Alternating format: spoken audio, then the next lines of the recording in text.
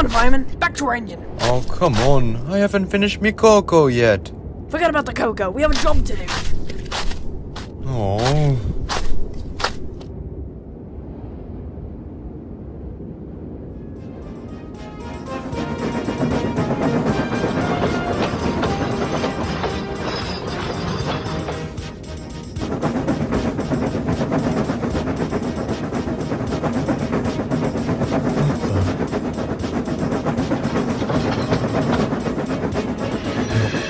No, no, no, no, no,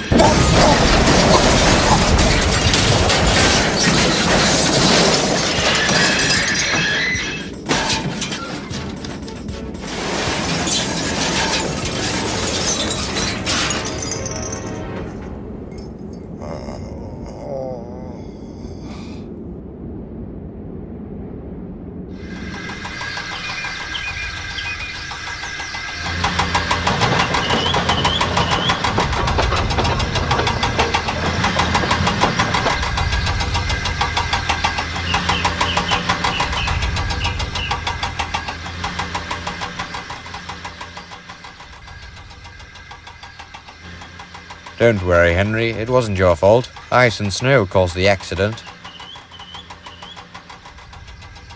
Tell you this, Henry. I'll be sending you to Crewe, a fine place for sick engines. They'll give you a new shape and a larger firebox, and soon you'll feel like a different engine. Thank you, sir. That will be lovely, sir.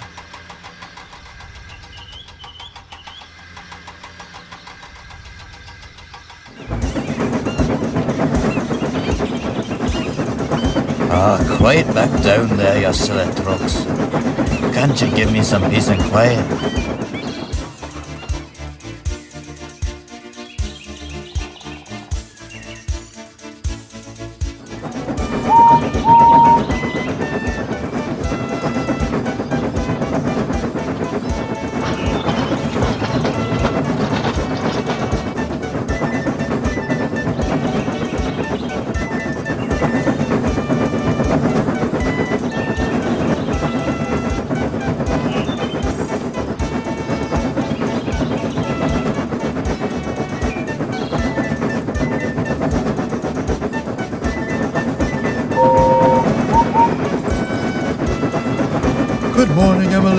Morning to you too, Henry.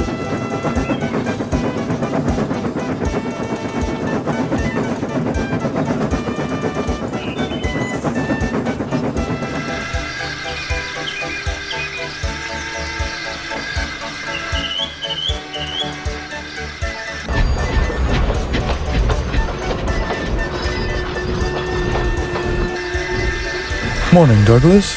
Ah, good morning, Henry. How have you... Stupid goods road, stupid trucks. Ought to put up with some such a splendid engine. I'm shouldn't be pulling trucks in the first place.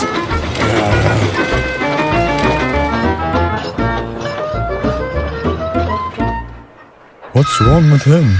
Oh, you wouldn't believe it, but he caused a major accident in the yards at Knapford, and so the Fat Controllers put him on temporary goods runs for a week. I also heard that he has to take the midnight goods for a week as well. I heard it from Oliver, who was cleaning up the mess. Oh my goodness. I now see why he's so upset. Well, at least I got to pull passengers today.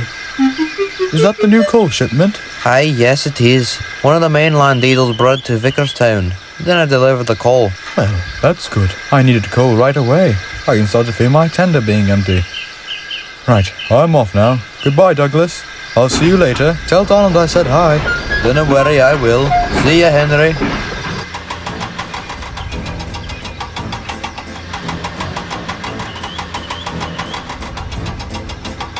Ten minutes late. I knew the big engine was slow, but God, I didn't know they were this slow. Have patience, Thomas. He'll be here soon.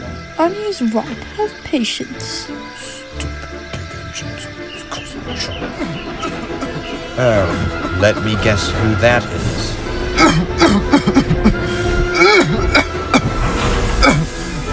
I'm sorry, Thomas. I think I took on some bad coal this morning. Oh, I don't have time for chit chat. I'm already late as it is. have already gotten a new shape years ago. You shouldn't be even having these problems now. I know that, but I. Come along, Annie and Clarabelle. We have a branch line to run. That Thomas, I swear. Come on, old boy. We got work to do. Oh, right.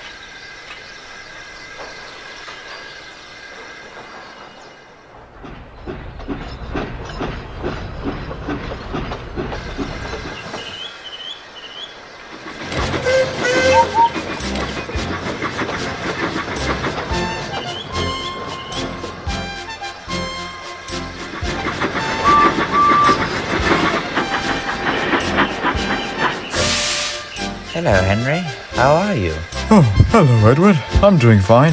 Just a little bit of a problem with some bad coal. I just got my tender filled up with some fresh coal, so I should be all good now. Oh, well, that's good. At least you don't need Welsh coal anymore to make you feel better. Guess you're right about that.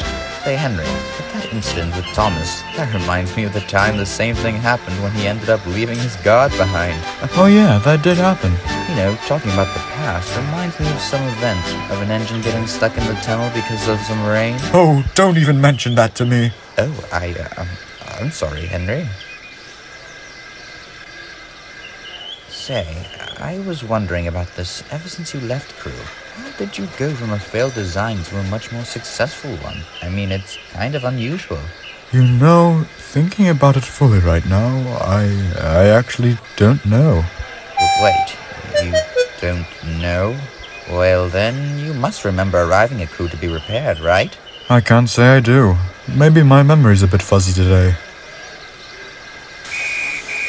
Oh dear, I better get going. We'll have to continue chatting another time, Edward. Goodbye. Goodbye, Henry. Gordon, may I have a word with you? It better be quick, Edward. I have to get some rest for the express later today. Well, it's about Henry. What about him? Well, remember how Henry was back then and how he was rebuilt after the Kipper accident? Edward, I already know all these things. Why are you telling me this again? Well, it has something to do with what happened today. Thomas made a remark about Henry's shape since he was late, and then he made an odd look after he left. I didn't say anything, but the look on his face when Thomas left, he almost looked rather confused at what he said. Oh, please, Edward. Do you expect me to believe that? Well, Gordon, explain to me this. How do you get a GNR fail design into an LMS Stanier Black 5? Well, uh, you make a good point. I questioned it myself, but when I asked him about it and his time at Crewe, it was like he just has no memory of it. Not to mention, I even told him about the tunnel incident. I know he wasn't actually afraid of the rain, but from the way he said it, it was like he was petrified of it. Well, all of this is strange, but it could just be a big coincidence. You never know. Well, you do make a good point there, but I'll still be wary. Right, right. Now, leave me be. An important engine like me needs his rest.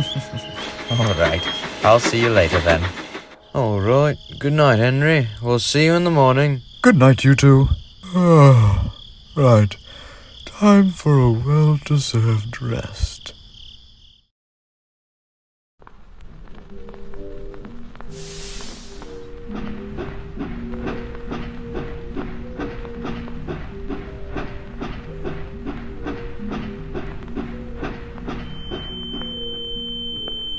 Oh, oh, What a strange dream.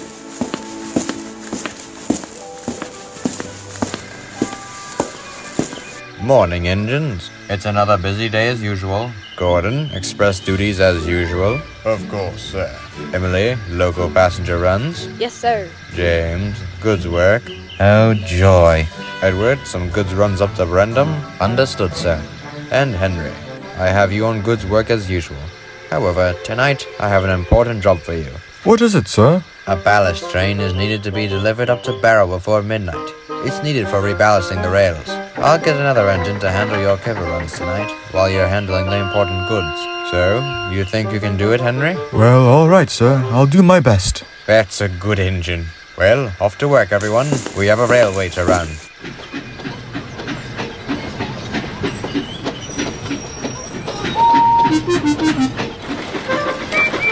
Oh, hurry up. I don't want to be late. Don't get your piston rods in a twist. I'm almost done. I swear you take forever. Oh, boy, be careful. Right, you're all set to go, Henry. Took you long enough. It's a lot of work running the yards as station pilot, I'll have you know. Anyways, what's so important about this train that you need me to hurry up? It's a train of ballast that needs to go up to Barrow for some rails that need reballasting. Gotcha. Well, anyhow, I got some work to do. See you, Big Green. Bye, Rosie.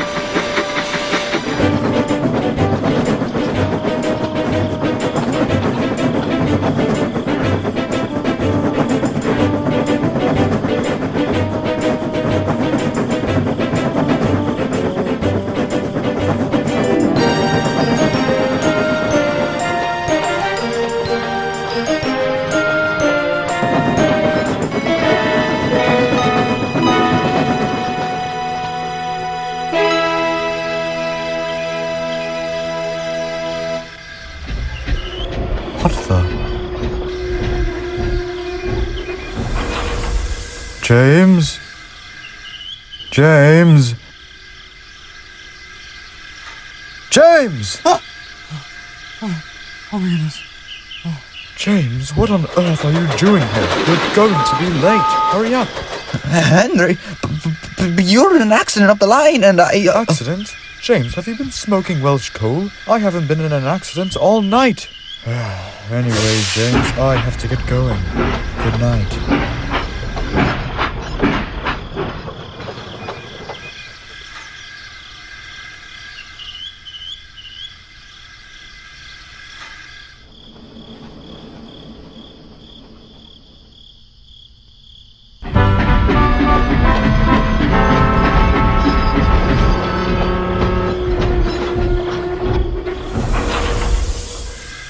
Just leave the trucks in the siding. Another engine will take it in the morning. Alright, come on, Henry. Let's get you turned around for home. Bad news. While switching the points, they jammed. Probably due to some shoddy maintenance.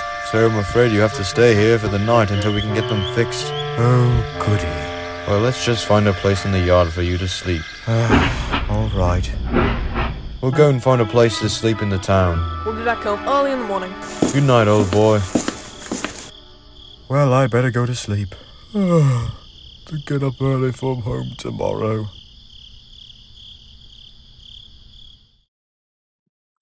All right, the engine's ready to go.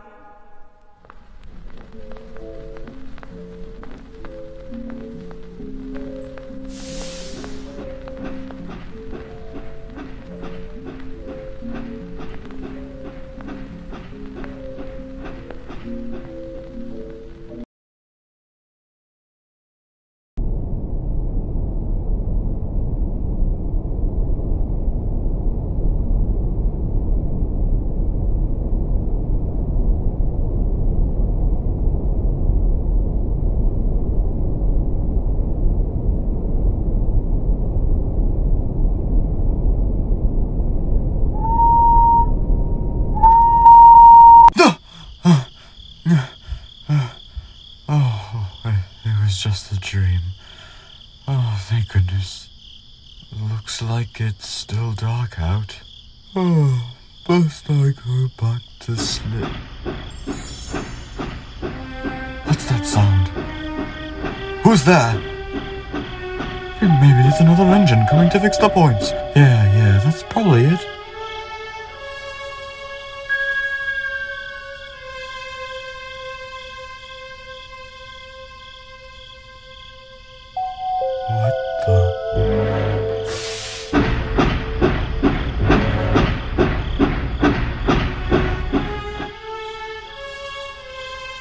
Who, are you? I'm you. What? Uh, what are you talking about? Don't you remember? You were my replacement. Well then, allow me to elaborate for you. After the Kipper accident, I was beaten up badly. However, the Fat Controller told me that I'd be sent off to Crewe to be repaired. A fine place for sick engines. Once I arrived, I was placed on a siding where they looked me over to see what they could do.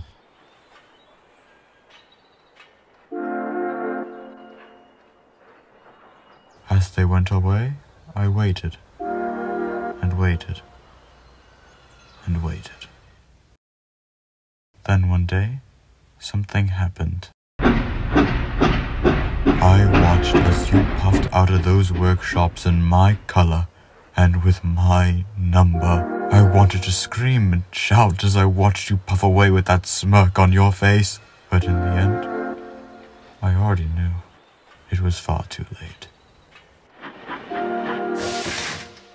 I was then moved to a siding out of the way, and I sat in that siding to rot away for nearly 40 damn years. I tried my hardest to prove my worth, and yet they tossed me aside like I was nothing. I'm sorry. I'm sorry that I replaced you. I'm sorry for taking everything away from you. I truly am sorry, Henry.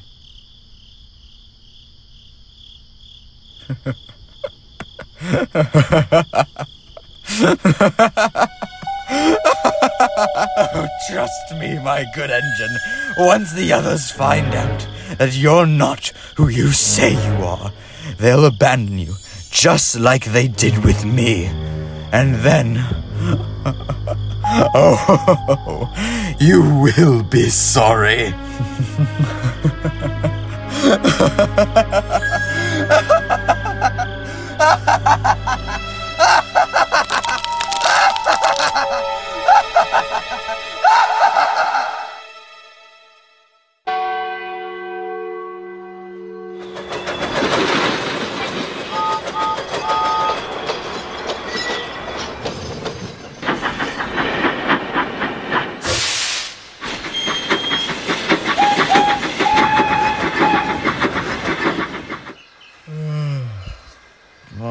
everyone.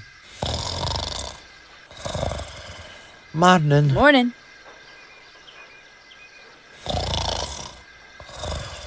Say, where's James and Henry? Did they not return from their jobs last night? Last I heard, James was taking the midnight goods up the line. And I heard from Rosie. Henry was taking a goods train to Barrow. Well, maybe they were needed elsewhere. Maybe. Hey, but that doesn't excuse what Douglas said to me. What did he say? He said he passed by James on the stretch of the main line to Killdane. He looked odd. He couldn't have put his buffer on it, but something was off about James. He whistled hello, but got nothing.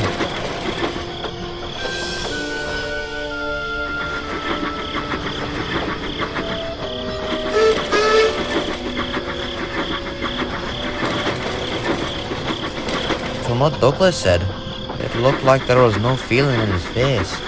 He didn't look sad, mad, or anything. But it was late at night, so the dark must have been playing tricks on him or something like that. Well, anyways, I've got palace runs to do today.